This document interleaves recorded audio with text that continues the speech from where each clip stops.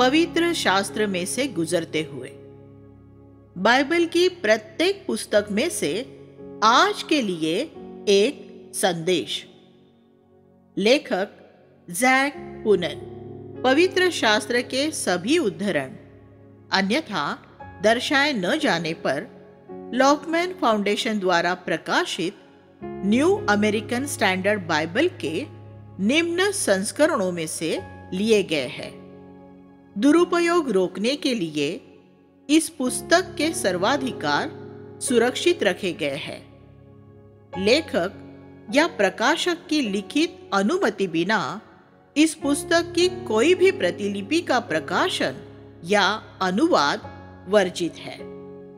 पवित्र शास्त्र में से गुजरते हुए विषय वस्तु परमेश्वर ने हमें बाइबल क्यों दी है?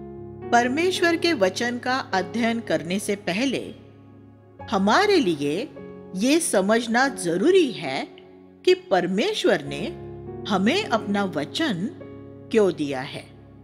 ये हो सकता है कि हम बाइबल को गलत कारणों से पढ़ रहे हो और मेरा मानना है कि बहुत से मसीही यही करते हैं। हमें पवित्र शास्त्र का अध्ययन उसी उद्देश्य से करना चाहिए, जिस उद्देश्य से परमेश्वर ने इसे दिया है।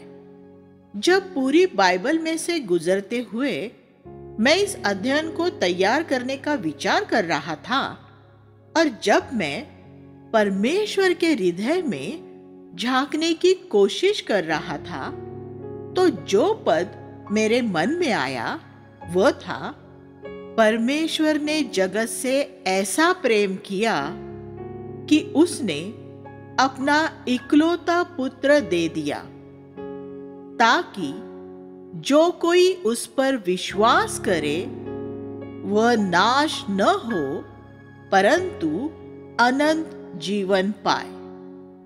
युहन्ना तीन सोलह। हमें पवित्र शास्त्र देने के पीछे परमेश्वर का प्राथमिक उद्देश्य ये था कि सभी लोग ये जाने कि वह उनसे इतना ज़्यादा प्रेम करता है कि उसने अपने बेटे को भेजा, जिससे कि वह उन्हें पाप के शिकंजे से बचाए और अपने साथ एक संगति में ले आए। परमेश्वर के हृदय में ये बड़ी अभिलाषा है कि पाप किसी को भी इस तरह नाश न करने पाए कि उसका अनंत विनाश हो जाए। परमेश्वर के वचन का अध्ययन करते हुए हम इस बात को अपने मन में रखें। अगर वचन में ऐसी बातें हैं जो हम पूरी तरह समझ नहीं पाते, तब भी हम यही प्रार्थना करें। प्रभु हमें चाहे तेरे वचन की सभी बातों के अर्थ समझ में न आए तो भी हम तेरे हृदय की बात को समझना चाहते हैं। पवित्र शास्त्र का अध्ययन करते हुए हमें ये प्रार्थना करनी चाहिए कि हमें वो बात समझ में आ सके जो परमेश्वर के हृदय में है। अपने अध्ययन के दौरान हम मामूली बातों की व्याख्याओं में इतना ज़्यादा खो सकते हैं कि परमेश्वर के हृदय को देखने से ही चूक सकते हैं। परमेश्वर अपने वचन में अपना हृदय प्रकट करता है। जैसे किसी इमारत का काम उसकी बुनियाद डाल देने के बाद नहीं रुकता, वैसे ही परमेश्वर का उद्देश्य यही रुक नहीं जाता है। दो तिमुथियोस, तीसरा अध्याय, सोलह सत्रह में हम पढ़ते हैं कि संपूर्ण पवित्र शास्त्र परमेश्वर की प्रेरणा से रचा गया है और शिक्षा, ताड़ना, सुधार और धार्मिकता की शिक्षा के लिए उपयोगी है, जिससे कि परमेश्वर का भक्त प्रत्येक भले काम के लिए कुशल और तत्पर हो जाए। परमेश्वर ने इस पुस्तक में ठीक उसी तरह से अपनी श्वास फूकी है, जैसे उसने आदम में फूकी थी। अगर परमेश्वर ने आदम में श्वास न फूकी होती तो वो सिर्फ़ एक मिट्टी का ढेर ही रहता। और कोई भी पुस्तक जिसमें परमेश्वर ने श्वास नहीं फूकी है, वह भी मिट्टी का ढेर ही है। परमेश्वर का वचन हमें इसलिए दिया गया है कि एक, हमें सिखाए, हमें सही रास्ता दिखाए। दो, हमारी ताड़ना करे और हमें डांटे। हमारे ईश्वरीयता के मार्ग में बने रहने के लिए हमें कठोरता से डांटे जाने की ज़रूरत होती है। तीन, जब हम भटकने लगे तो हमें सुधारे।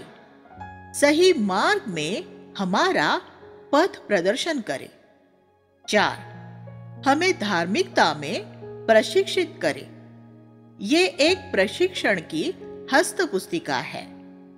तो हम देखते हैं कि परमेश्वर का वचन हमारे चरित्र को बदलने के लिए दिया गया है, ताकि हम ईश्वरीय स्त्री और पुरुष बन सके। इसका अंतिम लक्ष्य ये है कि परमेश्वर का भक्त कुशल हो जाए, सिद्ध और पूर्ण हो जाए। जैसे पानी का एक गिलास लबालब भरा होता है वैसे ही हमारा चरित्र भी गोलाई, संतुलन और पूर्णता में होना चाहिए। परमेश्वर की सेवा के लिए हमारा अभिषेक होना है और हमें साधन संपन्न होना है कि हम उस प्रत्येक भले काम को कर सके जो परमेश्वर ने हमारे लिए पहले से ठहराया है। पवित्र शास्त्र का यही उद्देश्य है। इसलिए आप जब भी बाइबल पढ़े तो इन्हीं उद्देश्यों की पूर्ति के लिए पढ़े। दूसरों को सिखाने के लिए नहीं। सिर्फ़ पवित्र आत्मा ही हमें परमेश्वर का वचन सिखा सकता है। वही पवित्र आत्मा जिसने पहली शताब्दी में प्रेरितों को सिखाया था, वही पवित्र आत्मा 21वीं शताब्दी में हमें भी सिखाना चाहता है। जुलाई उन्नीस सौ उनसठ में मेरा नया जन्म होने के बाद मैंने पवित्र शास्त्र का इसी तरह अध्ययन किया है। मैं किसी बाइबल स्कूल या बाइबल कॉलेज में नहीं गया। जब मैंने अनेक घंटे परमेश्वर के वचन का अध्ययन करने में बिताने शुरू किए, तब पवित्र आत्मा ने मुझे परमेश्वर का वचन सिखाया। जब यीशु इमाउस के मार्ग में दो शिष्यों के साथ चलता हुआ जा रहा था तो उसने पवित्र शास्त्र को उनके लिए खोल दिया। अगर आज हम भी उसके साथ चलेंगे तो वो हमारे लिए भी यही करना चाहता है। इन शिष्यों ने ये पाया कि जब प्रभु उन्हें पवित्र शास्त्र का अर्थ समझा रहा था तो उनके हृदय उत्तेजित हो रहे थे। लूका चौबीस बत्तीस।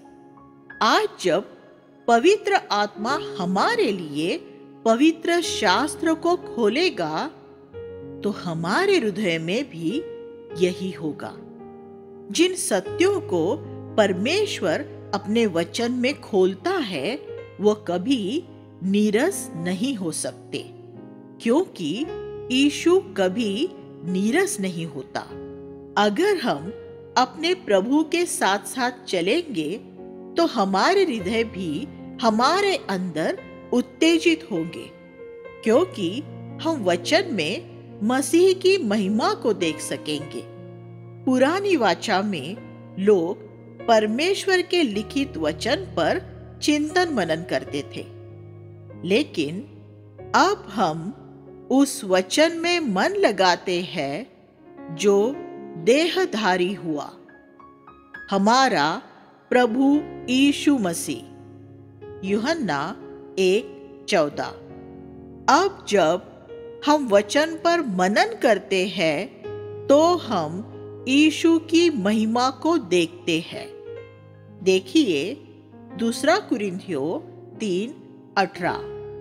एक व्यक्ति जो निरंतर उस महिमा को देखता रहेगा, वह ऐसे वृक्ष के समान होगा जो जल धाराओं के किनारे लगाया गया है और जो हमेशा फलवंत होता रहेगा। वह वृद्धावस्था में भी फलवंत होगा। भजन संहिता एक, तीन और बिरानवे, चौदह। हम में से हरेक के लिए परमेश्वर की यही इच्छा है। नीति वचन पच्चीस दो कहता है, परमेश्वर की महिमा किसी बात को गुप्त रखने में है, लेकिन राजाओं की महिमा गुप्त बात को ढूंढ निकालने में है। सोना और हीरे बहुत गहराई में मिलते हैं। वह पृथ्वी की सतह से हज़ारों फीट नीचे होते हैं। पवित्र शास्त्र भी ऐसा ही है। उसकी भरपूरी उसकी गहराई में छुपी हुई है। हम मसीह में राजा है और हमारी महिमा परमेश्वर के वचन के छिपे हुए गुप्त खजानों को ढूंढ निकालने में है। यीशु ने एक बार ये कहा, हे पिता, मैं तेरी स्तुति करता हूँ कि तूने ये बातें ज्ञानियों और बुद्धिमानों से छुपा कर रखी और बच्चों पर प्रकट की है। मत्ती ग्यारह पच्चीस। पवित्र शास्त्र को समझने के लिए हमें चतुर होने की ज़रूरत नहीं है। लेकिन हमारे भीतर एक बच्चे जैसा साफ़, नम्र, दीन और भरोसा करने वाला हृदय होना चाहिए। हमारी चतुराई नहीं, बल्कि हमारे हृदय की दशा ये सुनिश्चित करती है कि हमें पवित्र शास्त्र समझ में आएगा या नहीं। परमेश्वर का वचन हमें भरोसा करने के लिए प्रतिज्ञाएँ देता है और पालन करने के लिए आज्ञाएँ देता है। उसमें हमारे लिए ताड़ना के शब्द है और साथ ही शांति देने वाले शब्द भी है। अगर हमारे विश्वास से जुड़े हर एक मामले में हम बाइबल के अधिकार को सर्वोच्च नहीं मानेंगे तो हम इधर उधर हिचकोले खाते रहेंगे। और अंत में ये होगा कि हम अपने विश्वास को खो बैठेंगे। भजनकार हमें बताता है कि परमेश्वर ने अपने वचन को अपने नाम से भी ज़्यादा महान किया है। भजन संहिता 138 दो। इसलिए इसे अस्वीकार या अनदेखा करने या इसके साथ सतही तौर पर व्यवहार करने से बहुत बड़ा नुकसान होगा, जिसकी क्षतिपूर्ति न हो सकेगी। लेकिन इसका आदर करने से एक अतुल्य खजाने का द्वार खुल जाता है। एक परिचय के रूप में इन शब्दों के साथ आइए। हम परमेश्वर के वचन का अपना अध्ययन शुरू करते हैं। जैक पुनन बेंगलोर, नवंबर 2015 पुराना नियम, उत्पत्ति, आरंभ। इसमें हम देखेंगे सृष्टि, दो पुरुष जिन्होंने शैतान की बात सुनी। दो पुरुष जो परमेश्वर के साथ साथ चले। बेबीलोन, यरूशलेम, अब्राहम और मलकी सिदक इसहाक का जीवन, याकूब का जीवन और यूसुफ का जीवन। उत्पत्ति उत्पत्ति का अर्थ आरंभ है। इस पुस्तक में हम सृष्टि के आरंभ, मनुष्य के आरंभ, मानव जाति में पाप के आरंभ छुटकारे के आरंभ का संदेश। धर्मांधता और आत्मिकता की दो धाराओं के आरंभ, बेबीलोन के आरंभ, यरूशलेम के आरंभ और झूठे धर्म और सच्चे धर्म के आरंभ के विषय में पढ़ते हैं। पवित्र शास्त्र इन शब्दों के साथ आरंभ होता है। आरंभ में परमेश्वर। हमारे जीवन में प्रतिदिन ऐसा ही होना चाहिए। मनुष्य नहीं, परमेश्वर हमारे जीवन की हर एक बात के आरंभ में होना चाहिए। हमारे जीवन के हर एक क्षेत्र में, हमारे लक्ष्य और हमारी महत्वाकांक्षाओं में, सब बातों में परमेश्वर सबसे पहले होना चाहिए। और जब भी परमेश्वर को एक ऐसा पुरुष या स्त्री मिलेगी जो अपने जीवन के हर एक क्षेत्र में उसे पहला स्थान देंगे व्यापार में, वित्तीय मामलों में और प्रतिदिन के जीवन में। तब परमेश्वर ऐसे व्यक्ति के अंदर और उसके द्वारा क्या कुछ कर देगा, उसकी कोई सीमा न होगी। सृष्टि। अध्याय एक में हम सृष्टि की रचना का वर्णन पाते हैं। इस अध्याय में आने वाले दो भिन्न शब्दों पर ध्यान दीजिए। रचा और बनाया। इन दोनों शब्दों में फ़र्क है। परमेश्वर ने पृथ्वी को रचा। पहला अध्याय, पहला वचन। लेकिन उसने आकाश को बनाया। एक साथ। उसने मनुष्य को रचा। लेकिन उसने पृथ्वी के जीव जंतुओं को बनाया। एक पच्चीस। बनाया किसी ऐसी चीज़ में से कुछ बनाने के विषय में बताता है जो पहले से अस्तित्व में थी, जबकि रचा जाना किसी ऐसी चीज़ के विषय में बताता है जिसका पहले अस्तित्व नहीं था। आदि में परमेश्वर ने आकाश और पृथ्वी की रचना की। ये हो सकता है कि ये रचना लाखों और करोड़ों साल पहले हुई हो। हम नहीं जानते। जब परमेश्वर के बोले गए शब्द द्वारा आकाश और पृथ्वी की रचना हुई। इब्रानियों ग्यारह तीन। तब उसने सब कुछ सिद्ध बनाया था। परमेश्वर जो कुछ बनाता है, उसमें कुछ गलत हो ही नहीं सकता। तब पृथ्वी बेडोल, वीरान और अंधियारी कैसे हो गई? अध्याय एक दो में, परमेश्वर कुछ भी बेडोल, वीरान या अंधकार में नहीं बनाता। वह ऐसी हो गई क्योंकि पद एक और पद दो के बीच के अंतराल में कुछ हुआ था। स्वर्गदूत लूसीफर का पतन हुआ था और वह शैतान बन गया था। यही वह समय था जब पाप ने सृष्टि में प्रवेश किया था। इस जगह उसका उल्लेख इसलिए नहीं किया गया है क्योंकि बाइबल स्वरदूतों के लिए नहीं, बल्कि मनुष्यों के लिए लिखी गई है। यही वजह है कि मनुष्य की रचना के विषय में पहले ही अध्याय में लिखा हुआ है, जबकि लूसीफर के पतन का बयान बहुत बाद में किया गया है।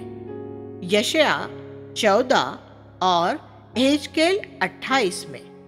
अध्याय एक के बाकी हिस्से में जो हम पढ़ते हैं, वह भ्रष्ट, दूषित, अंधकारमय और वीरान पृथ्वी की पुनर्रचना का वृत्तांत है।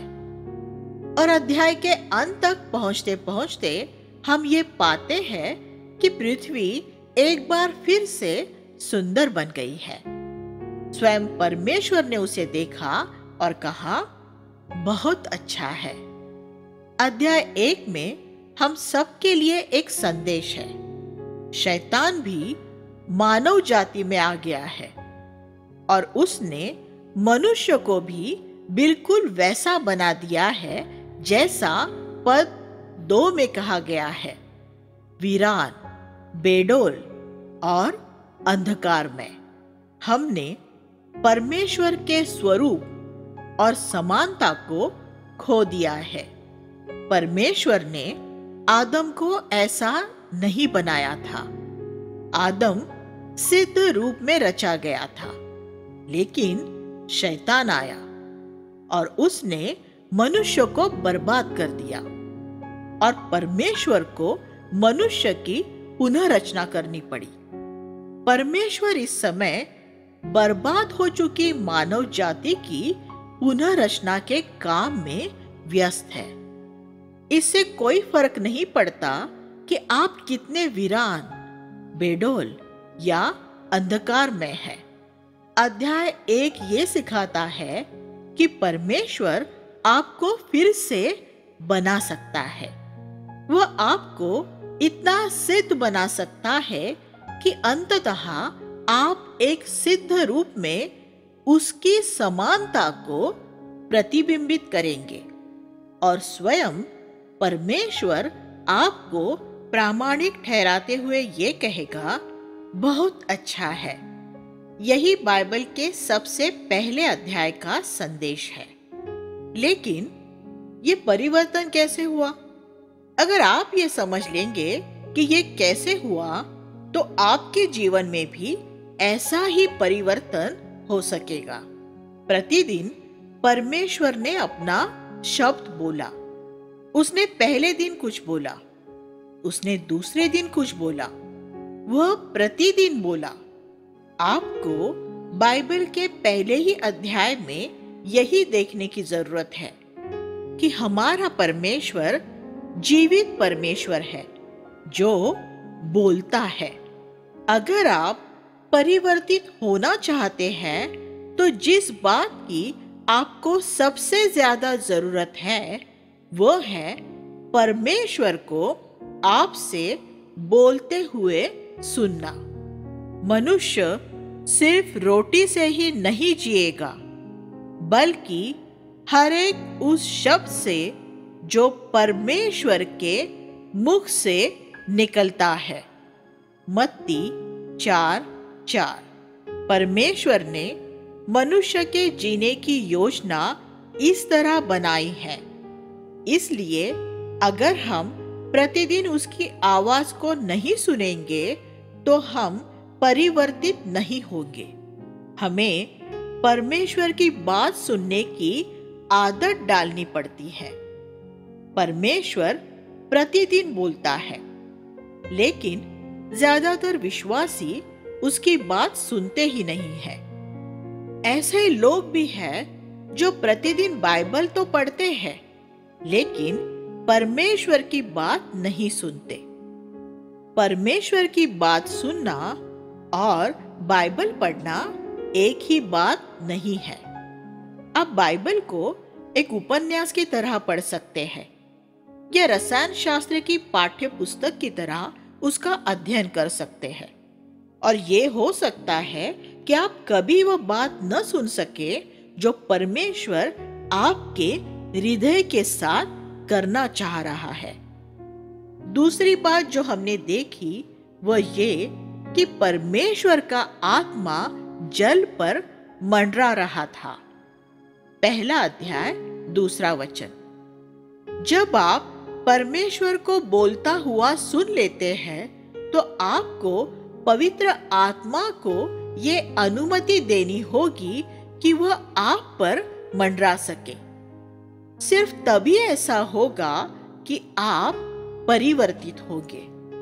हम पवित्र आत्मा को आरंभ से ही परमेश्वर के वचन के साथ काम करता हुआ पाते हैं।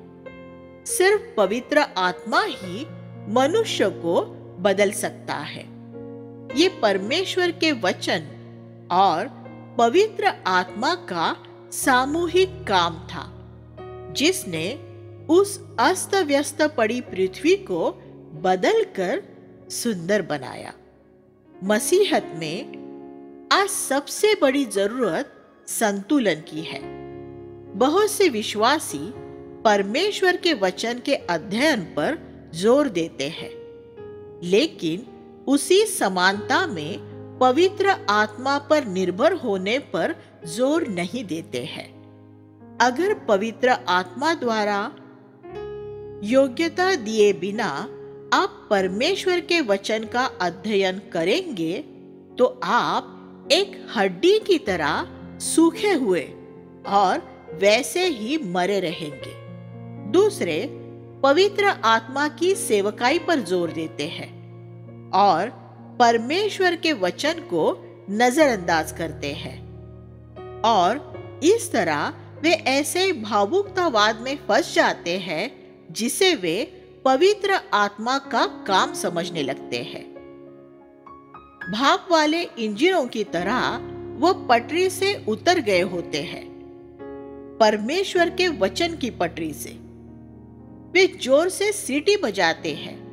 बहुत सा शोर करते हैं, लेकिन वे मिट्टी में धसे होते हैं और आगे नहीं बढ़ पाते, क्योंकि वे परमेश्वर के वचन को उनका मार्गदर्शन करने की अनुमति नहीं देते। इस तरह हम देख सकते हैं कि हमें धार्मिकता के सही मार्ग में सिद्ध होने के लिए बाइबल के पहले अनुच्छेद में ही संशोधन और शिक्षण मिल सकता है।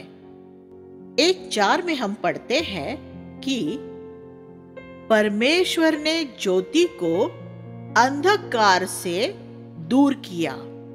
इस विभाजन को चौथे दिन दोहराया गया है, एक अठारह में। यह एक बहुत ज़रूरी बात है और इसी वजह से इसे दोहराया गया है। जब परमेश्वर ने ज्योति की रचना की तो वो ये नहीं चाहता था कि अंधकार उसमें मिश्रित हो। इसलिए उसने ये विभाजन किया। बहुत लोग ये कल्पना करते हैं कि अलग करने का सारा काम शैतान ही करता है। लेकिन हम यहाँ ये पढ़ते हैं कि विभाजन करने वाला सबसे पहला व्यक्ति परमेश्वर था। ज्योति की अंधकार के साथ कोई संगति नहीं हो सकती। जब हमारे हृदयों में ज्योति आती है तो सबसे पहला काम जो परमेश्वर करना चाहता है, वो यही है कि हमें ऐसी हर एक बात से दूर कर दे जो अंधकार में है। दो कुरिंथियो चार छ में हम ज्योति की रचना के विषय में एक ईश्वरीय व्याख्या पाते हैं। वहाँ हमें ये बताया गया है कि ये परमेश्वर की महिमा के ज्ञान की ज्योति है जो यीशु मसीह के मुख में से हमारे हृदयों में चमकी है। फिर दो अध्याय के बाद दो कुरिंथियो छ, चौदह से सत्रह में हमें सारे अंधकार से दूर होने की ज़रूरत के विषय में बताया गया है। संसार अंधकार से भरा हुआ है। और हमारे हृदय में संसार का कुछ भी नहीं होना चाहिए। जब मसीही लोग अंधकार से अलग नहीं होते हैं, तब उसका नतीजा उलझन ही होता है। जब परमेश्वर ने सूर्य और चंद्रमा को आकाश के बीच में रखा, तब उसने फिर ज्योति को अंधकार से दूर किया। एक, अठारह। दोनों ही अवसरों पर हम पढ़ते हैं कि परमेश्वर ने देखा कि अच्छा है।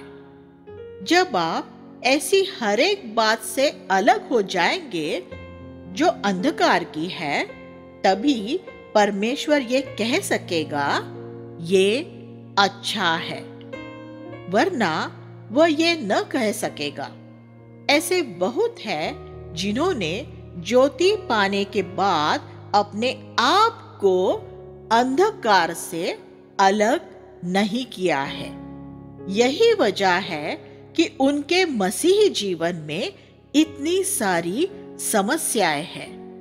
मनुष्य की रचना छठे दिन हुई थी। आदम से पहले मैदान के पशु भी उसी दिन रचे गए थे। पद चौबीस। वे पशु भी उसी मिट्टी में से रचे गए थे, जिसमें से मनुष्य बना था।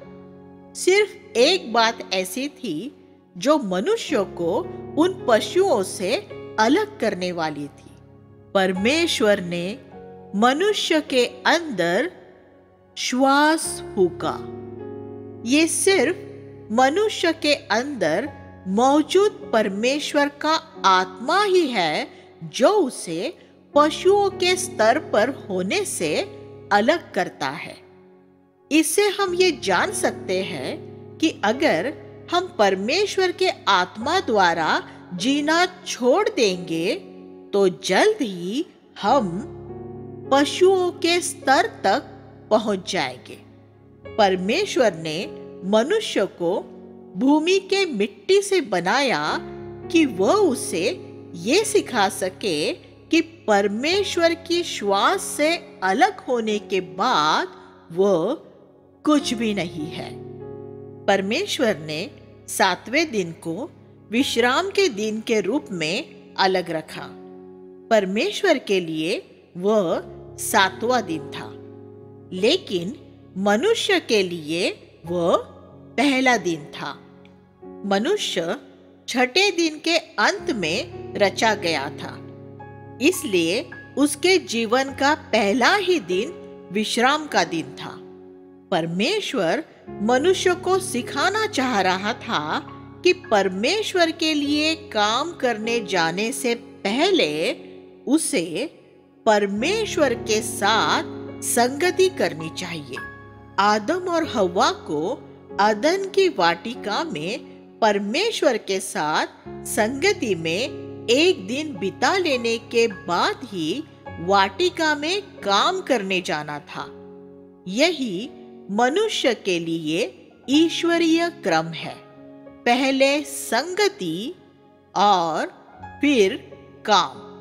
आरंभ में स्वयं परमेश्वर, फिर परमेश्वर का काम। हमें इस क्रम को भूल जाना हमारे ही लिए खतरनाक होता है। यही वजह थी कि परमेश्वर ने इसराइल को इतनी कठोरता से विश्राम दिन का पालन करने की आज्ञा दी थी। आज परमेश्वर के लोगों के लिए सप्त का विश्राम बाकी है। इब्रानियों चार नौ। पद एक अट्ठाईस में परमेश्वर ने आदम से कहा था कि फूलों, फलों और पृथ्वी में भर जाओ। परमेश्वर की अपेक्षा अनुसार ये कैसे होना था? अवश्य ही एक लैंगिक संबंध स्थापित होने के द्वारा। परमेश्वर ने लैंगिक क्रिया की रचना की थी और उसने मनुष्य से कहा था कि वह उसका उपयोग करे।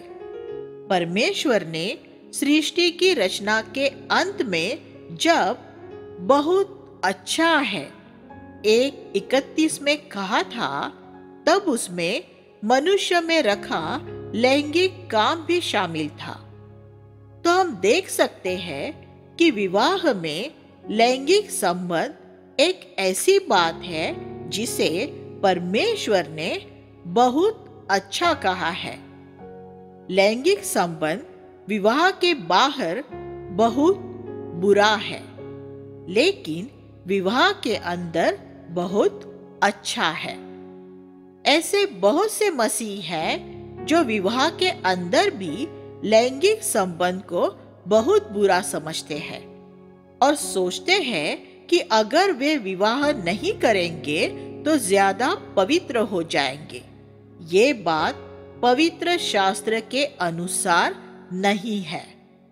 जब परमेश्वर ने मनुष्य को बनाया तो उसने उसे आशीष दी। एक अट्ठाईस। उसने उसे न सिर्फ़ फलने फूलने के लिए कहा, बल्कि पृथ्वी पर सब कुछ उसके वश में करते हुए उस पर अधिकार रखने के लिए भी कहा। तो हम देखते हैं कि परमेश्वर ने मनुष्य को गुलाम बनने के लिए नहीं, बल्कि राज करने के लिए रचा था। परमेश्वर ने मनुष्य को ऐसा प्रबल होने के लिए रचा था, जिसमें सब कुछ उसके पैरों तले था।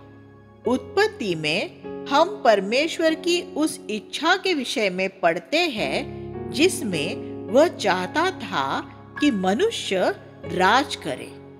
और प्रकाशित वाक्य में हम परमेश्वर की उस इच्छा के विषय में पढ़ते हैं, जिसमें वह चाहता है कि मनुष्य जय पाए। प्रकाशित वाक्य 21 सात। यह मनुष्य के लिए परमेश्वर की मूल इच्छा थी और उसे अंततः कुछ ऐसे मनुष्य मिल जाते हैं जो उसकी इस योजना को पूरा करते हैं और जय पाते हैं। आपके लिए परमेश्वर की योजना यही है कि आप सब पर अपना अधिकार रखे। वह चाहता है कि आप अपने जीवन में पाप पर, अपने क्रोध पर, अपनी लालसाओं और मनोवेगों पर अधिकार रखें। वह चाहता है कि आप इन सबको अपने पैरों तले रखें। परमेश्वर ने आपको गुलाम होने के लिए नहीं बनाया। उसने आपको विजेता और शासक होने के लिए रचा था।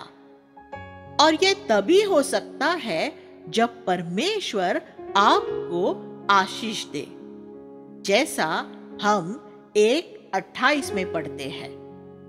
अध्याय एक में ये ध्यान दे कि परमेश्वर ने हर एक दिन के काम का परीक्षण किया और उसका अच्छा होना प्रमाणित किया। परमेश्वर ने दूसरे दिन के लिए ये नहीं कहा, क्योंकि शैतान को, जिसे परमेश्वर ने नीचे फेंका था, दूसरे आकाश स्वर्ग में रहने की अनुमति दी गई थी। हमें भी परमेश्वर को ये अनुमति देनी चाहिए कि वह हमारे काम को प्रतिदिन देखे। कि वो उसकी सराहना के योग्य है या नहीं। अध्याय दो में मनुष्य की रचना के विषय में और विस्तार से दिया गया है। वहाँ हम देखते हैं कि परमेश्वर ने मनुष्य को तीन उपहार दिए।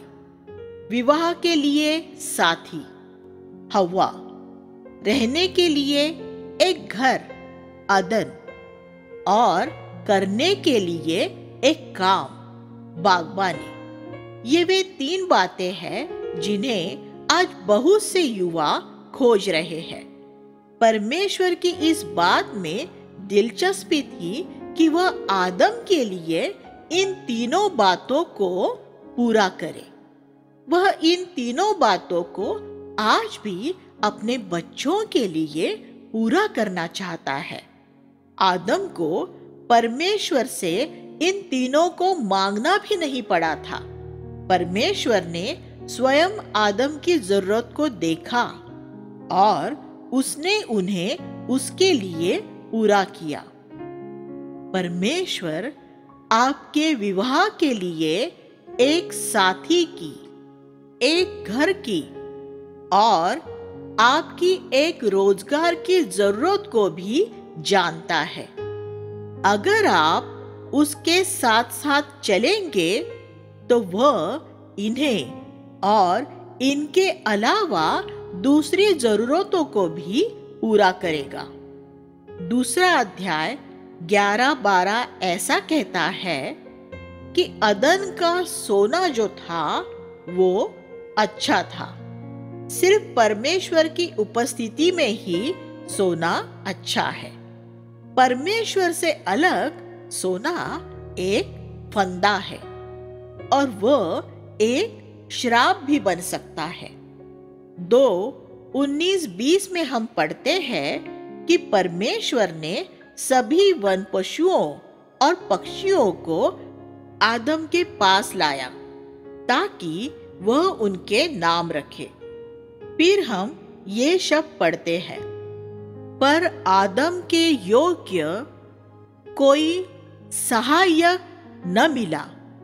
इस वाक्यांश से ऐसा लगता है कि जब आदम ने हर एक पशु का एक साथी देखा तो उसने सोचा कि क्या उनमें से वह अपने लिए कोई साथी चुन सकता है।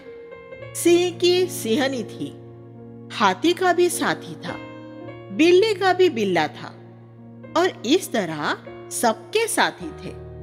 आदम ने एक एक करके उन सबको देखा और उन्हें अस्वीकार करता गया, क्योंकि उनमें से कोई उसके स्वभाव के अनुसार नहीं था।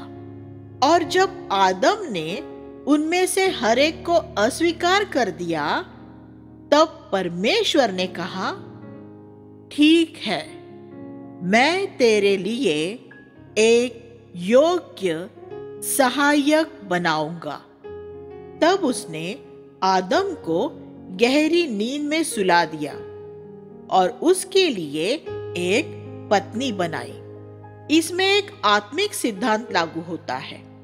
अगर आप परमेश्वर की संतान है और आप विवाह के लिए एक साथी ढूंढ रहे हैं तो परमेश्वर कुछ सुंदर युवतियों को या सजीले युवाओं को आपके नज़दीक आने देगा, जिनमें वही ईश्वरीय स्वभाव नहीं होगा, जो नया जन्म पाते समय आपको मिला है।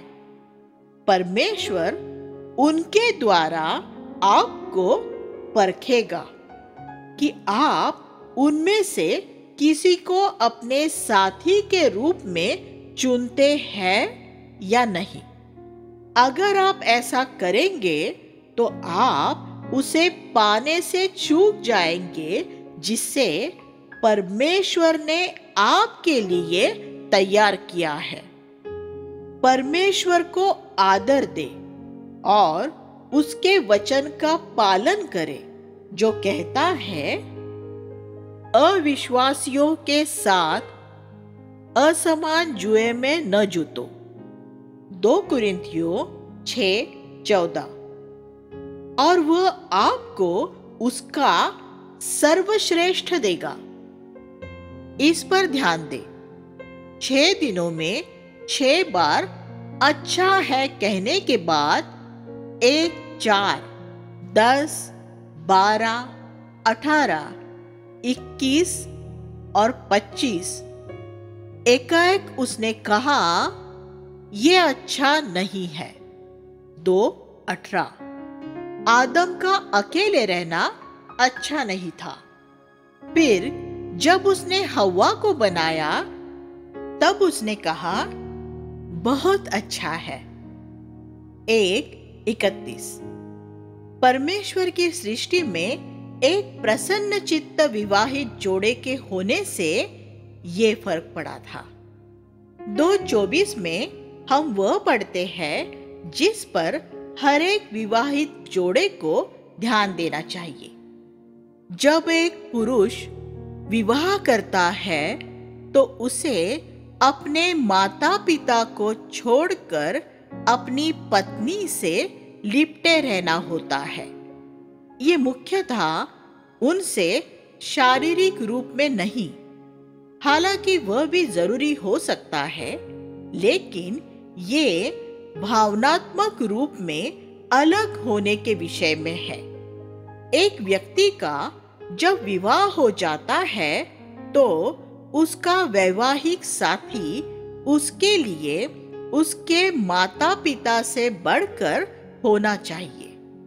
एक विवाहित जोड़े को अपने पारिवारिक फैसले अपने माता पिता के साथ मिलकर नहीं, बल्कि एक दूसरे के साथ मिलकर करने चाहिए मेरी ये इच्छा है कि मैं ये महत्वपूर्ण संदेश लेकर पूरे भारत के कोने कोने में विवाहित जोड़ों के पास पहुँचा सकूँ। अगर हर एक विवाहित व्यक्ति इस आज्ञा का पालन करता तो हमारे देश में बहुत से प्रसन्न विवाहित जोड़े होते परमेश्वर द्वारा दी गई ये वो आज्ञा है जो जगत में पाप के प्रवेश करने से भी पहले दी गई थी। असल में ये बाइबल में हमारे लिए लिखी सबसे पहली आज्ञा है। परमेश्वर ने बाइबल में इसे सबसे पहली आज्ञा के रूप में क्यों रखा है? क्योंकि जिसने विवाह का होना तय किया है, वह इस कदम के अत्यावश्यक महत्व को जानता है। फिर भी बहुत से विवाहित जोड़ों ने इसके महत्व को नहीं समझा है। दो पुरुष, जिन्होंने शैतान की बात सुनी।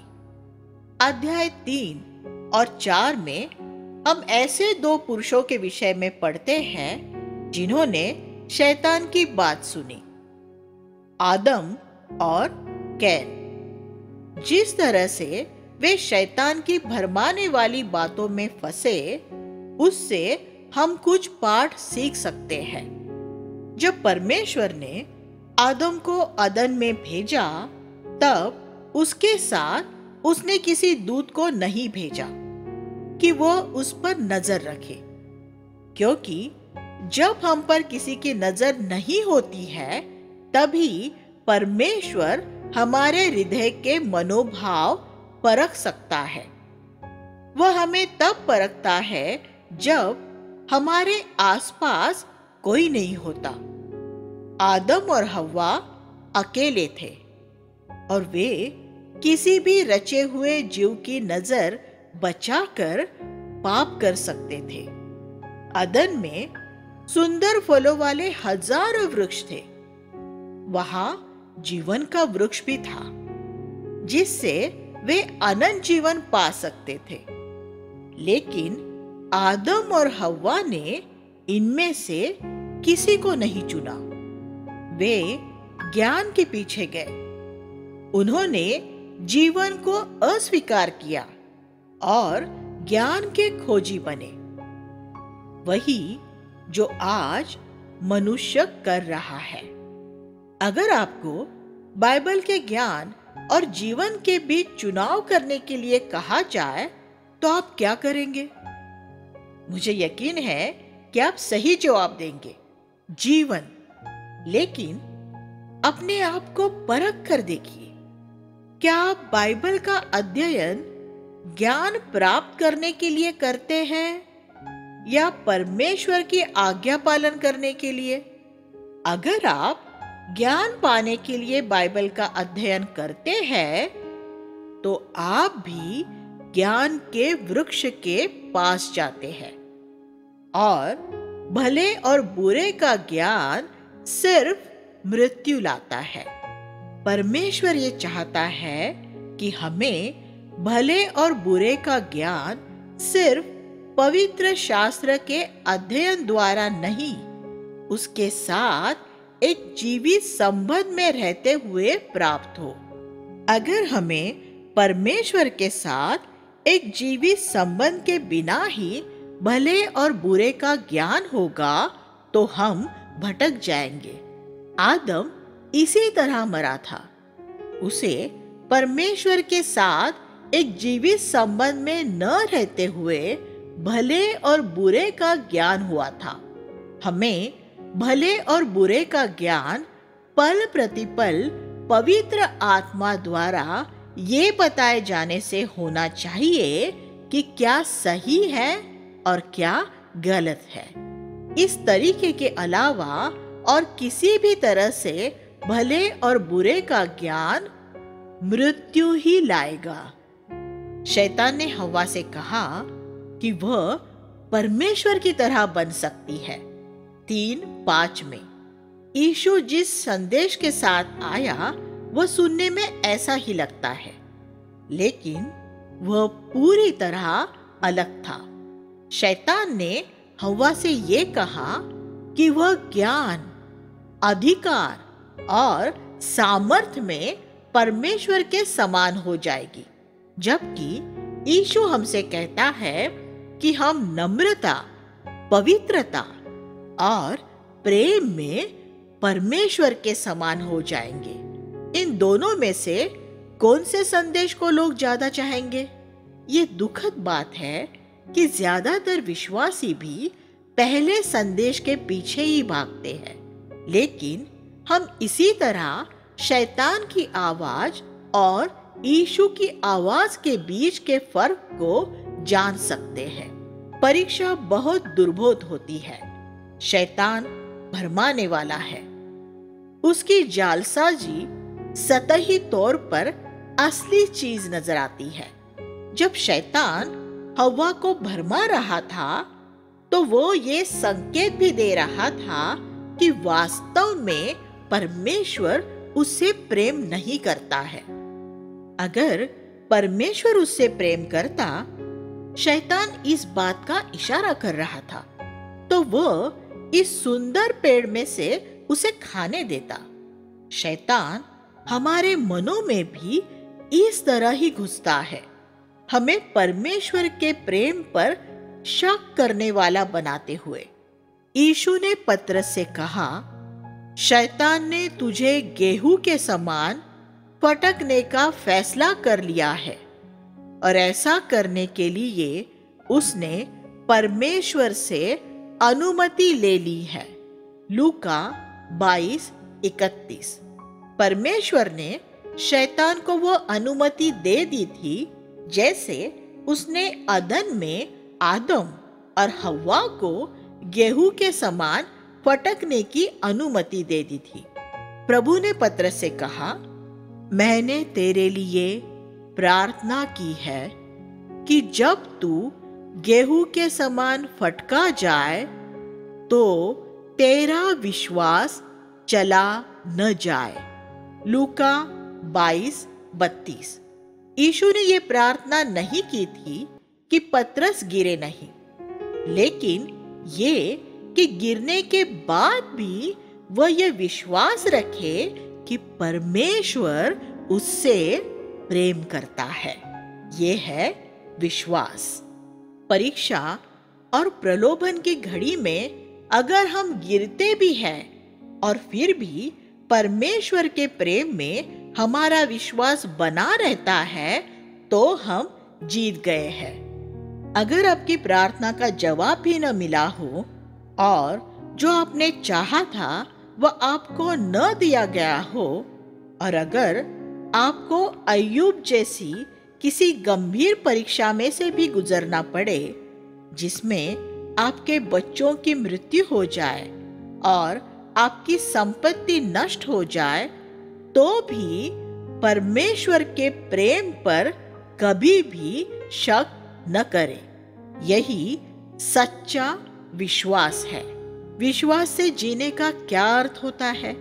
इसका अर्थ है कि लगातार यकीन के साथ ये दावा करते रहना, चाहे कुछ भी होता रहे, कि परमेश्वर आपसे प्रेम करता है। अपने पिता के प्रेम में ऐसा विश्वास ही उड़ाऊ पुत्र को उसके पिता के घर में वापस लाया था। वो जानता था कि हालाँकि उसने बहुत से गलत काम किए थे और अपने जीवन को बर्बाद किया था। लेकिन उसका पिता फिर भी उससे प्रेम करता था। इसलिए वह अपने पिता के पास वापस लौट सका। भले और बुरे के ज्ञान का पेड़ बहुत आकर्षक नज़र आता था। परमेश्वर ने उसे आकर्षक बनाया था, क्योंकि उसके आकर्षक होने पर ही आदम और हवा की ये परख हो सकती थी कि वे परमेश्वर की सुंदर सृष्टि को चुनेंगे या स्वयं परमेश्वर को चुनेंगे। हर एक प्रलोभन परीक्षा में, मूल रूप में हमारा सामना जिस बात से होता है वह यही है। क्या हम सृष्टिकर्ता को चुनेंगे या उसकी सृष्टि को चुनेंगे? वह प्रलोभन, एक सुंदर स्त्री, सोना या और कोई सृजी हुई वस्तु हो सकती है, जब हम मनुष्यों से सम्मान और स्वीकृति पाना चाहते हैं, तब भी हमारे सामने ये वैकल्पिक चुनाव रहता है कि हम परमेश्वर की स्वीकृति पाना चाहे। आप इनमें से क्या चाहेंगे? जब हम सृजनहार से बढ़कर सृजी हुई वस्तुओं को चुनते हैं, तब हम पाप करते हैं। जब हम सृष्टिकर्ता की सारी सृष्टि से पहले उसे चुनते हैं, तब हम जय पाते हैं। ये इतनी सहज बात है। फिर भी संसार के ज़्यादातर लोग विश्वासियों सही रोज इस परीक्षा में नाकाम होते हैं। हम या तो परमेश्वर की सृष्टि की आराधना करेंगे। एक सुंदर चेहरा, सोना या मनुष्य से मिलने वाले सम्मान की आराधना करेंगे या हम इन सबको स्वयं परमेश्वर की तुलना में कूड़ा करकट समझेंगे। एक जय पाने वाले के लिए ईशु की सुंदरता और उससे मिलने वाली सराहना उसकी बनाई हुई हर एक चीज़ से बहुत बढ़कर होती है। अपने जीवन के हर एक फैसले में अगर आप सिर्फ़ एक यही चुनाव करते रहेंगे तो आप परमेश्वर के एक पुरुष या परमेश्वर के एक स्त्री बन जाएँगे। आप परमेश्वर और उसके वचन को व्यक्तिगत रूप में जानेंगे। जैसा आपको कोई मनुष्य नहीं सिखा सकता। हर एक परीक्षा में यही चुनाव करे और कहे, प्रभु, मैं सारी सृजी हुई वस्तुओं से बढ़कर तुझे चुनता हूँ। यही भेद की बात है। आदम का पाप क्या था? क्या वो ये था कि उसने वर्जित पेड़ का फल खाया था? नहीं, वो इससे बढ़कर था। तीन सत्रह में परमेश्वर ने उससे कहा तूने अपनी पत्नी की बात मानी है। क्या अपनी पत्नी की बात मानना पाप है? हाँ अगर वह परमेश्वर की आज्ञा न मानने की दिशा में ले जाता है तो परमेश्वर ने आदम को घर का मुखिया बनाया था, लेकिन उसने अपने उस अधिकार का इस्तेमाल नहीं किया। उसने अपने पत्नी को शैतान से बातें करते देखा और उस वार्तालाप को रोकने की कोशिश करने के बजाय वो खड़ा खड़ा उनकी बातें सुनता रहा। उसे अपने अधिकार का इस्तेमाल करते हुए ये कहना चाहिए था, वहाँ से दूर हटो और उसकी बातें मत सुनो। आज आदम जैसे बहुत से पति हैं। वे अपने घर के मुखिया नहीं है। आदम ने तब पाप किया जब उसने अपने मुखिया होने की ज़िम्मेदारी को नहीं निभाया, परमेश्वर एक भला परमेश्वर है। उसने शैतान और भूमि को श्रापित ठहराया, लेकिन उसने आदम को श्राप नहीं दिया। वहाँ हम परमेश्वर के महान प्रेम को देखते हैं। परमेश्वर ने आदम और हवा को ढापने के लिए एक पशु का बलि दिया। वह पृथ्वी पर पहली मृत्यु थी। आदम के पाप के लिए एक निर्दोष पशु की बलि दी गई और उस पशु के चमड़े से आदम और हवा के नंगेपन को ढापने के लिए वस्त्र बनाए गए। तीन, इक्कीस। ये उस काम का चित्र था जो परमेश्वर एक दिन कलवरी की सूली पर करने वाला था, जिसमें वह अपने पुत्र को मरने देने वाला था, कि उसकी धार्मिकता हमारा वस्त्र बन सके। मनुष्य के पाप करने से पहले जीवन के वृक्ष के सामने कोई ज्वाला में तलवार नहीं थी। आदम उसके पास जा सकता था और उसमें से खाकर अनंत जीवन पा सकता था। लेकिन मनुष्य के पाप करने के बाद परमेश्वर ने एक ज्वालामय तलवार को उसके चारों ओर घूमने के लिए नियुक्त कर दिया। अगर आज आप उस वृक्ष में से खाना चाहते हैं तो आपको अपने शरीर पर उस तलवार को गिरने देना होगा। हमें अब अपने पापों के लिए दंड पाने की कोई ज़रूरत नहीं रह गई है, क्योंकि वह तलवार कलवरी में ईशु पर गिर चुकी है। लेकिन आज उस तलवार का हमारे शरीर पर गिरना ज़रूरी है। जैसा पौलुस ने कहा, मैं मसीह के साथ सूली पर चढ़ाया गया हूँ। मैं जीवित हूँ। गलतियों दो बीस। जब हम सूली पर ईशु के साथ एक हो जाते हैं, तब वह तलवार हमारे शरीर पर गिरती है और हम अनंत जीवन में सहभागी हो सकते हैं। जीवन पाने का कोई दूसरा तरीका नहीं है। ये तलवार आज जीवन के वृक्ष की रक्षा करती है। आदम के पाप की सजा के लिए परमेश्वर ने जिन शब्दों का इस्तेमाल किया, जरा उन शब्दों पर ध्यान दे। श्राप, पीड़ा, काटे, पसीना, धुल, मौत, तीसरा अध्याय 16 से 19 सूली पर ईशु के दुख और उसकी मृत्यु में हम इन सब शब्दों को पाते हैं।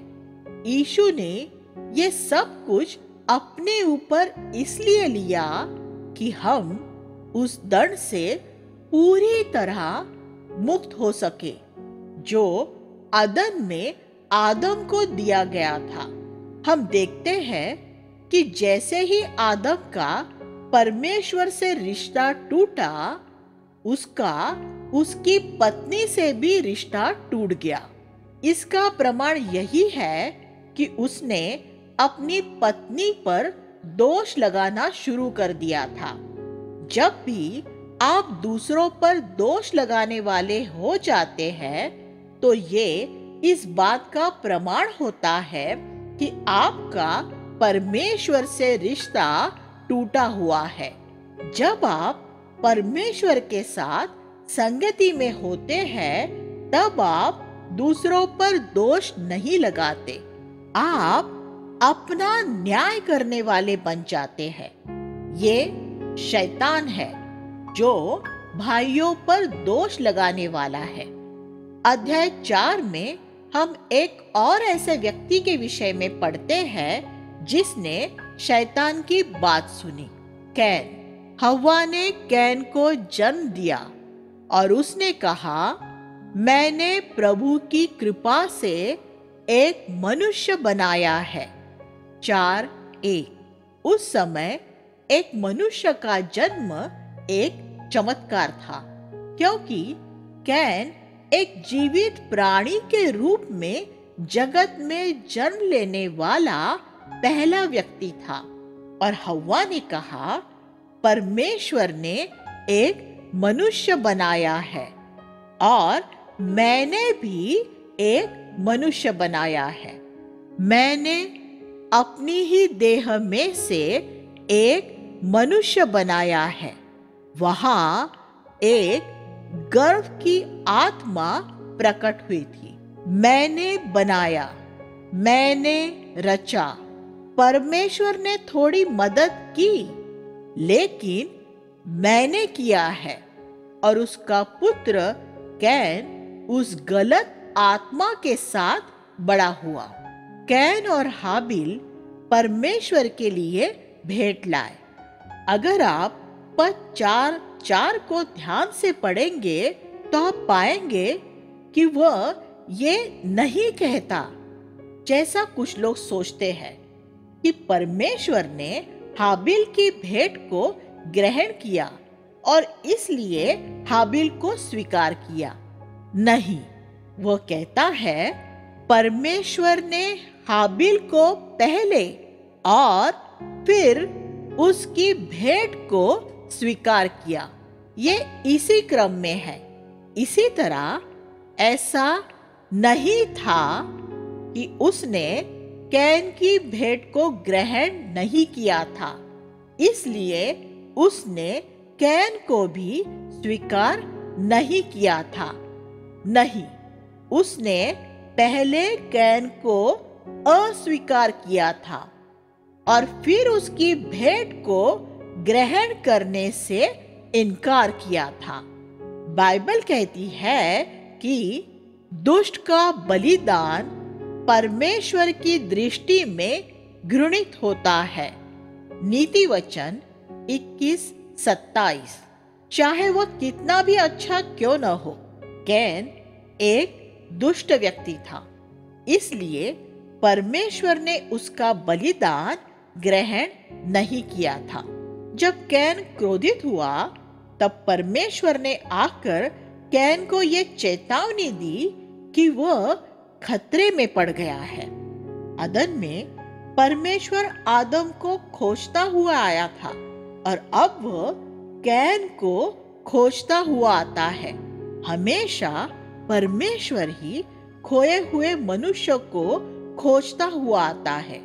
यीशु भी जगत में खोए हुए मनुष्य को ही खोजता हुआ आया था।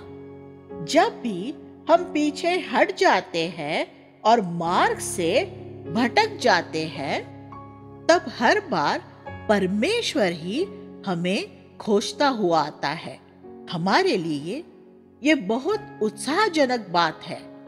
परमेश्वर ने आकर कैन को चेतावनी दी, लेकिन कैन ने उस चेतावनी पर कोई ध्यान नहीं दिया। जो पाप उसके हृदय के द्वार पर दुबका बैठा था, उसने उसे यह अनुमति दे दी कि वह उसके भीतर आकर उसका नाश कर दे। मनुष्य के अदन में से निकाले जाने के बाद ईर्षा वह पहला पाप है, जिसका पवित्र शास्त्र में उल्लेख किया गया है। एक बड़े भाई की अपने छोटे भाई के प्रति ईर्षा क्योंकि परमेश्वर ने छोटे भाई को आशीष दी थी।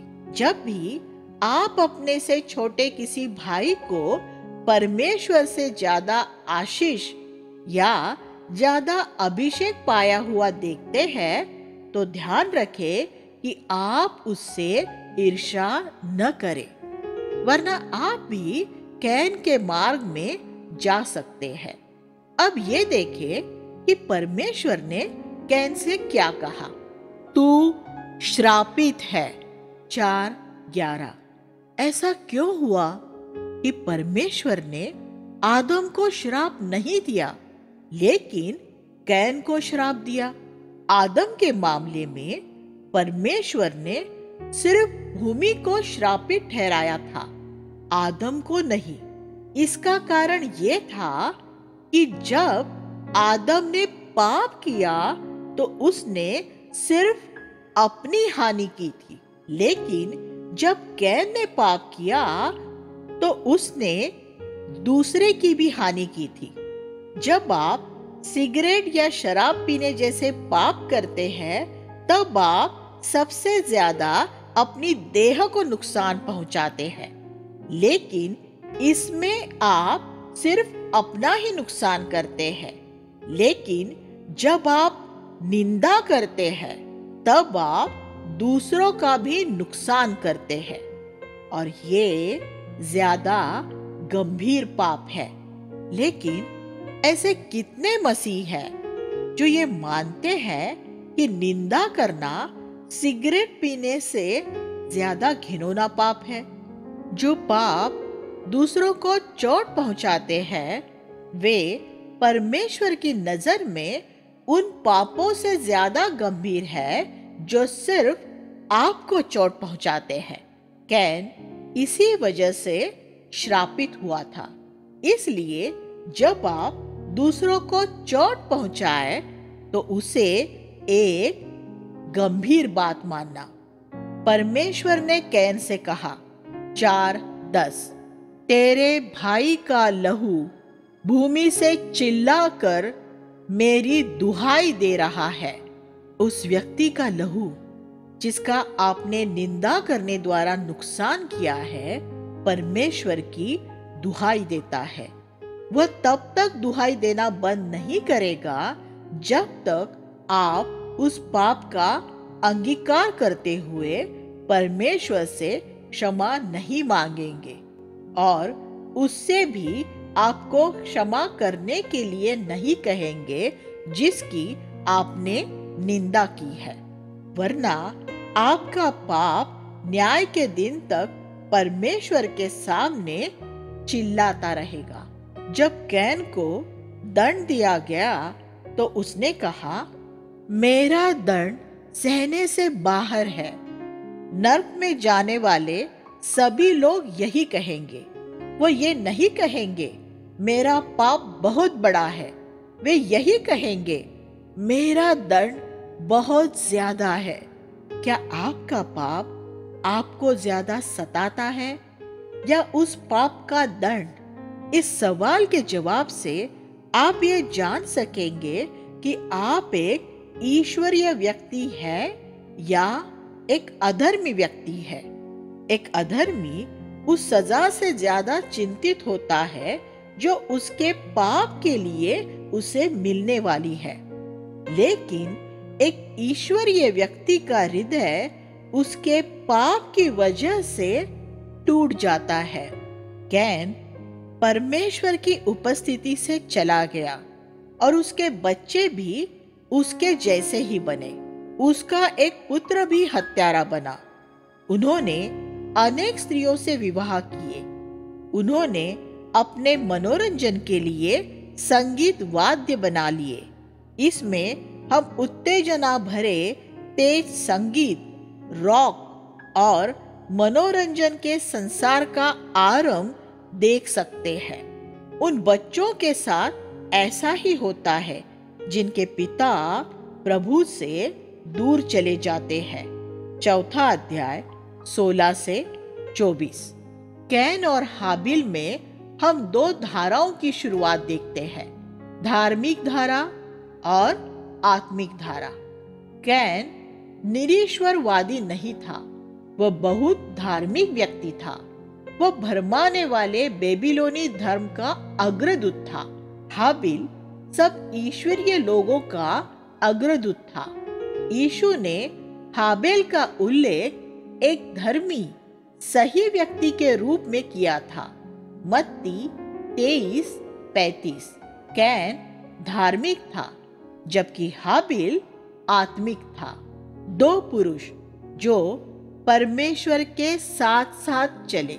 हमने ऐसे व्यक्तियों के उदाहरण देखे जो शैतान के साथ चले, आदम और कैन अब हम दो पुरुषों के विषय में विचार करेंगे जो परमेश्वर के साथ साथ चले थे, हनोक और नूह। अध्याय पाँच में हम ये वाक्यांश, तब वह मर गया, आठ बार पढ़ते हैं। फिर उसी अध्याय के बीच में हम एक ऐसे पुरुष के विषय में पढ़ते हैं, जो मरा ही नहीं वह हनोक था। वह परमेश्वर के साथ साथ चला और परमेश्वर ने उसे जीवित ही स्वर्ग में उठा लिया। मृत्यु के बीच में ये मृत्यु में से जी उठने का चित्र है। हनोक एक ऐसा व्यक्ति था जो पुनरुत्थान की सामर्थ्य में जिया। उसने मृत्यु पर जय पाई और वह स्वर्ग में उठा लिया गया। आत्मिक मृत्यु के बीच में रह रही एक ऐसी ईश्वरीय कलिसिया का चित्र, जिसने पुनरुत्थान की सामर्थ द्वारा जय पाई और अंत में स्वर्ग में उठा ली गई। ये हो सकता है कि हनो उसके जीवन के आरंभिक पैंसठ वर्षों में ईश्वर से दूर रहने वाला व्यक्ति रहा हो। लेकिन पैंसठ वर्ष की उम्र में उसको एक पुत्र हुआ। उसने ईश्वरीय प्रकाशन द्वारा उसका नाम मतुशेलह रखा। मतुशेलह का अर्थ है, उसकी मृत्यु पर जल धाराएँ प्रवाहित होगी। ये दर्शाता है कि जब हनोक के पुत्र का जन्म हुआ, तब परमेश्वर ने उसे एक प्रकाशन दिया। परमेश्वर ने हनोक को बताया कि जब उसके पुत्र की मृत्यु होगी, तब संसार का जल प्रलय द्वारा न्याय किया जाएगा। जल प्रलय द्वारा न्याय का यह प्रकाशन नूह से पहले हनोक के पास आया था। इसलिए उसने उसका नाम मतुशेल रखा। जब आपका बच्चा होता है तो आपको ये मालूम नहीं होता कि वो कितना जिएगा। जब मतुशेल बीमार होता होगा, तब हनो शायद ये सोचता होगा कि न्याय का दिन नज़दीक आ गया है। एक ऐसे बच्चे के विषय में सोचे जिसके नाम का ये अर्थ हो, उसकी मृत्यु के समय जल प्रलय होगा। आप जब भी उसे पुकारेंगे, आपको न्याय का दिन याद आएगा और परमेश्वर के उस न्याय के भय ने हनोक को परमेश्वर के साथ साथ चलने वाला और ये समझने वाला बना दिया कि आनंद की बातें समय के साथ खत्म हो जाने वाली बातों से ज़्यादा महत्वपूर्ण है। इसी संकट की वजह से हनोक अगले 300 सालों तक परमेश्वर के साथ साथ चलता रहा। बाइबल कहती है, संसार और उसकी लालसाएँ मिटती जाती है। एक युहन्ना दो सत्रह। अगर हमारा ये विश्वास होगा तो हमें भी हनोक की तरह ये समझ आ जाएगा कि आनंद की बातें उन बातों से ज़्यादा ज़रूरी है जो समय के साथ खत्म होने वाली है। परमेश्वर का मनुष्य को धीरज से सहना इस वास्तविकता में नज़र आता है कि उसने मतुशेलह को सब मनुष्यों से ज़्यादा लंबे समय तक जीवित रहने दिया। नौ साल। नौ साल तक जब भी लोगों ने मतुशेलह का नाम सुना तो उन्हें आने वाले न्याय का संदेश सुनने को मिला। लेकिन लोगों ने उस संदेश को अस्वीकार कर दिया। इस संदेश का प्रचार करने वाला सिर्फ़ नूह ही नहीं था। हनोक ने भी 300 सालों तक इस संदेश का प्रचार किया था और फिर मतुशेल ने अपने नाम द्वारा और छह साल तक इस संदेश का प्रचार किया था। नूह भी परमेश्वर के साथ साथ चला और मतुशेला के जीवन के अंतिम 120 वर्षों में उसने भी इस न्याय का प्रचार किया था। हनो और मतुशेला को जल प्रलय के विषय में इतने विस्तार से नहीं मालूम था, जितना कि परमेश्वर ने बाद में नूह पर प्रकट किया था। लेकिन वे इतना जानते थे कि मतुशेलह की मृत्यु के समय जल की बाढ़ से जुड़ा किसी प्रकार का न्याय होने वाला है। यहूदा ने हमें बताया कि हनोक ने अपने समय के सभी भक्ति हीरो के खिलाफ न्याय के होने की नबूवत की थी।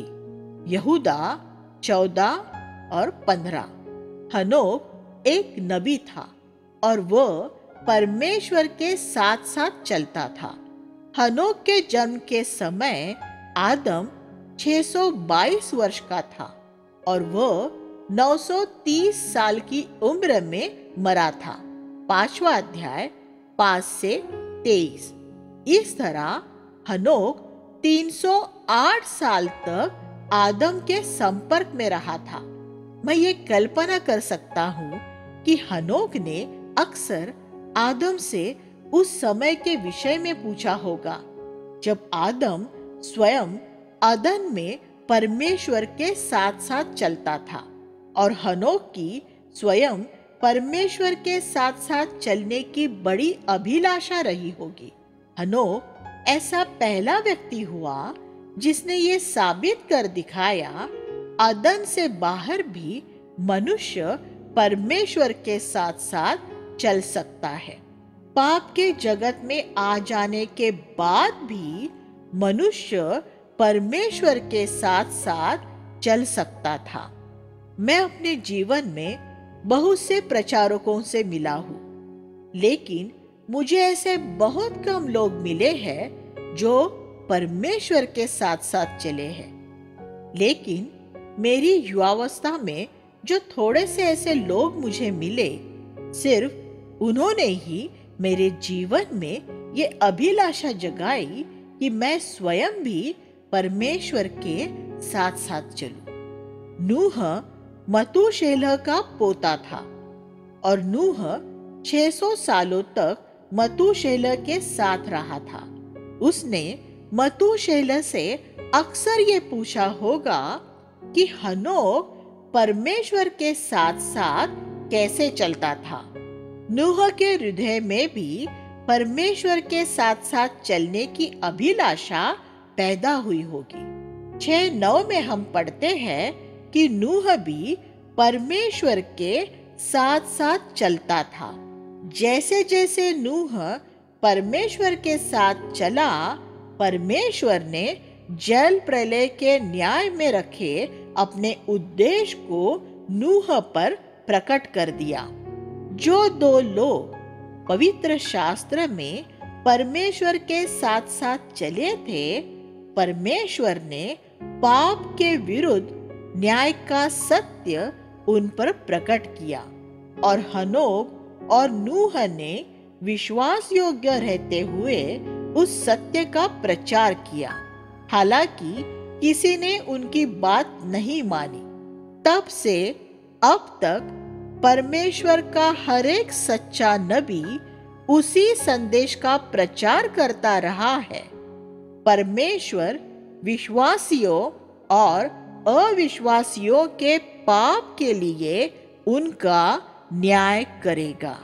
परमेश्वर के साथ साथ चलने वाले हनोक और नूह ऐसे पहले दो प्रचारक हैं, जिनका पवित्र शास्त्र में उल्लेख किया गया है। अगर तब से हर एक प्रचारक ने भी वही किया होता तो परमेश्वर का आनंद पूरा हो जाता। परमेश्वर ने नूह से जहाज़ बनाने के लिए कहा और नूह ने फ़ौरन उसे बनाना शुरू कर दिया था। उसने परमेश्वर से ये नहीं पूछा था कि उस पर होने वाला खर्च कौन देगा। अगर उसने पूछा होता तो परमेश्वर ने उसे यही जवाब दिया होता। निश्चित रूप से, वह खर्च तुझे ही करना है।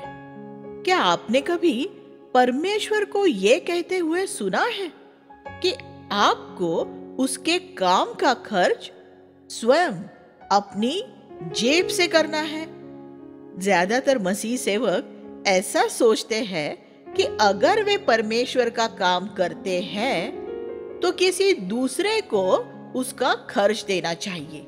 लेकिन नूह ने ऐसा नहीं सोचा। उसने अपनी और अपने परिवार की देखभाल करने के साथ साथ प्रभु की भी सेवा की। जहाज़ बनाने के लिए, धन संसाधन जुटाने के लिए उसे अतिरिक्त काम करना पड़ा होगा। लेकिन उसने वो सब खुशी से किया।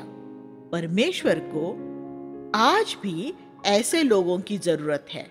जैसा यीशु ने कहा है कि अंत के दिनों में लोग अगर नूह के दिनों की तरह ही दुष्टता से भरे होंगे तो परमेश्वर को भी अंत के दिनों में बहुत से नूह चाहिए होंगे।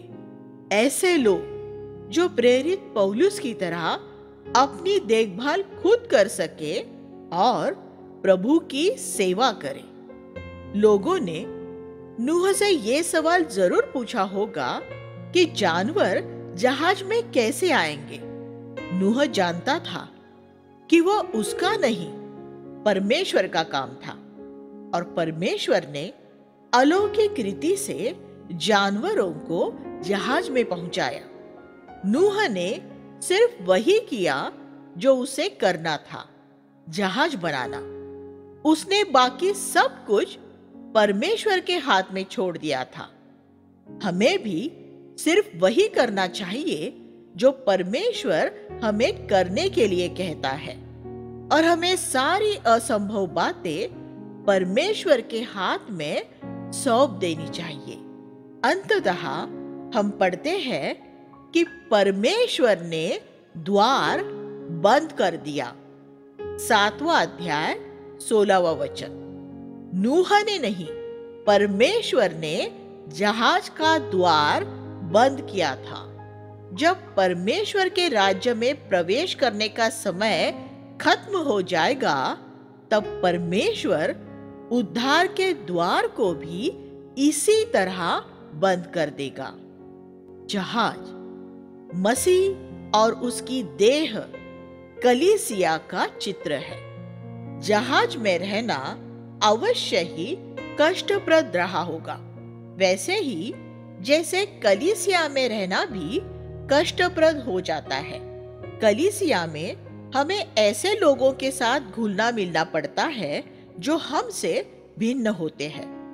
और अक्सर, उनमें से कुछ हमें अप्रिय लगते हैं।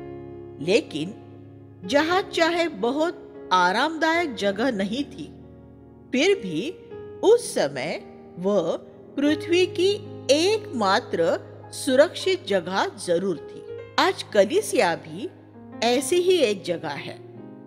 अगर कलिसिया में ऐसे लोग हैं, जिनके साथ रहना मुश्किल है, फिर भी मैं कलिसिया में खुश हूँ। मैं आशा करता हूँ कि आप भी इसमें खुश होंगे।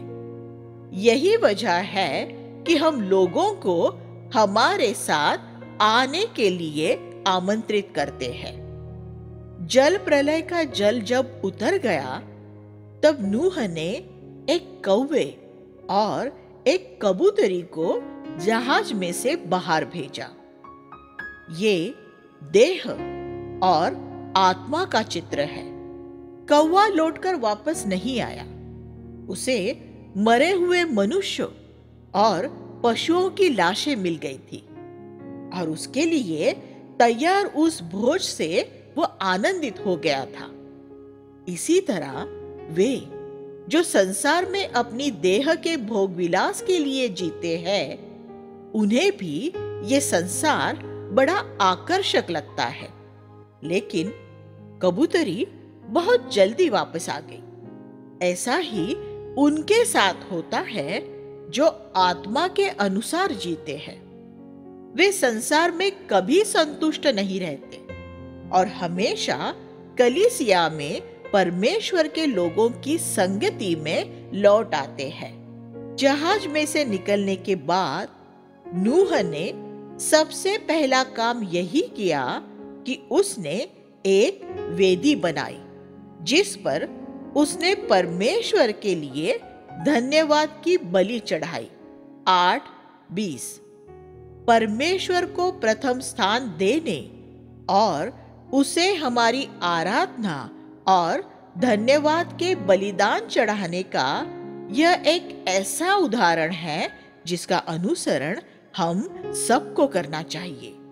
लेकिन नूह एक सिद्ध व्यक्ति नहीं था। एक दिन वह मदिरा पीकर अपने तंबू में नंगा हो गया। उसके पुत्र हाम ने आकर उसे उस दशा में देखा और उसने जाकर अपने भाइयों को ये बताया, हमने क्योंकि अपने पिता का इस तरह अपमान किया, इसलिए वह श्रापित हुआ। शेम और येपेत ने उल्टे चलते हुए जाकर अपने पिता की नग्नता को एक चादर से ढाप दिया। इसलिए उन्हें आशीष मिली। इस घटना में हमारे लिए एक ज़रूरी संदेश है। पवित्र शास्त्र में ये पहली जगह है जहाँ पिता का अनादर करने के लिए हम एक पुत्र और उसके वंश को दंडित होता हुआ पाते हैं। जब हम अधिकार का अनादर करते हैं तो परमेश्वर की नज़र में ये एक गंभीर मामला होता है। जब आप अपने पिता, परमेश्वर के एक जन या परमेश्वर के एक आत्मिक अगुए में कोई कमज़ोरी देखे तो अगर आपको श्रापित होने से बचना है तो उसके नंगेपन को हाम की तरह दूसरों के सामने उघाड़ा न करे। शेम और येपेत की तरह बने और उसे ढाप दे। प्रेम असंख्य पापों को ढाप देता है।